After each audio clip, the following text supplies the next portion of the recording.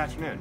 My name is Wade Hampton. I'm with Troop 537, and I teach Girl Scouts and Boy Scouts how to do knots. This is my daughter Scarlett, and we're going to review three knots this afternoon. So the first knot that we're going to do is the bowline.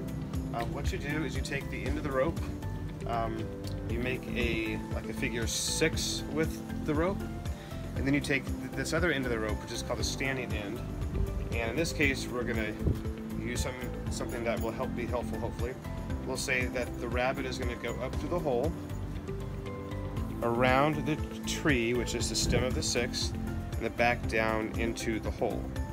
And then you grab this, you grab the two pieces of rope in the hole, the stem of the six, and you pull it tight. And this is the bowline, the life-saving knot.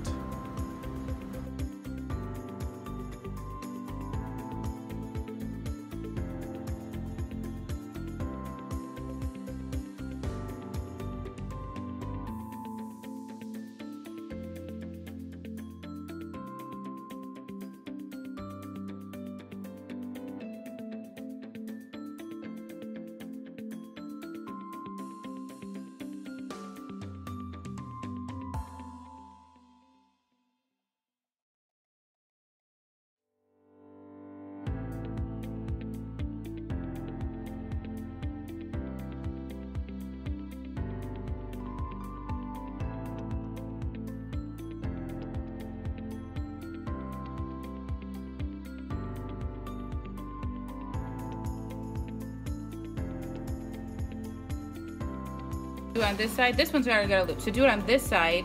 See uh-huh. how you turn this, and then you're gonna push this side of the loop through like that, and then you'll have it on both sides. See that? Oh, that makes sense. Yeah. So you want it on both sides. So you've kind of got to change your thinking on doing that second loop over. It's going to work. Put her down. Are you gonna make a burglar do this?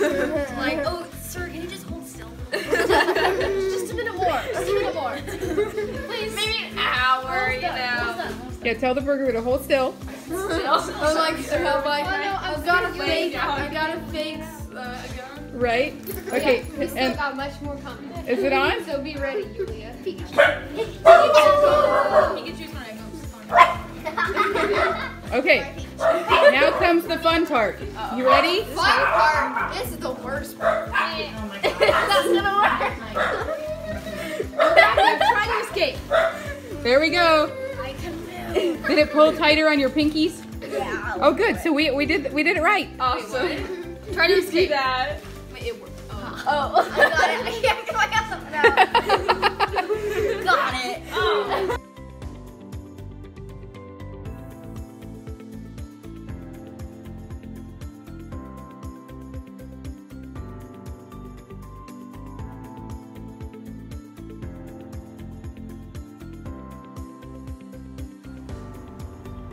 All right, so the second of the knots that we're going to work on is called the clove hitch. The clove hitch is a very easy hitch. Uh, what you're going to do is you're going to take the end of your rope and go over the pole that you want to hitch it to. Then take the end, go over the standing end of the rope at an angle like that. Then you're going to pull it around again. And this time when you bring it over one last time, you're going to go under your, your, your last loop in, be- in between and you're going to pull it tight just like that. And that is a clove hitch. You can use it to tie off a project that you are working on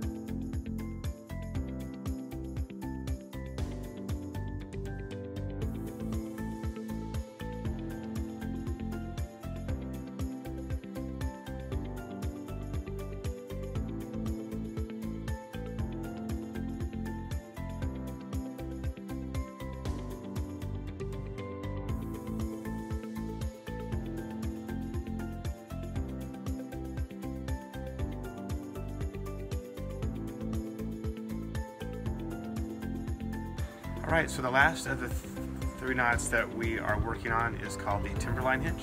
The Timberline hitch can be used for several things. It can be used as a starting hitch.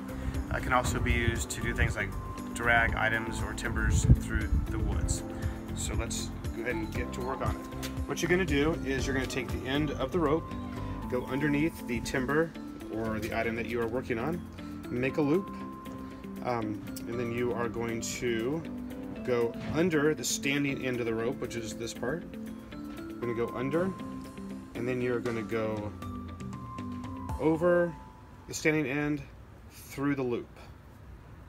But before you pull it tight, you need to go two more times through the loop. One, two. So now we've, gone three times through the loop, and now we're going to pull it tight.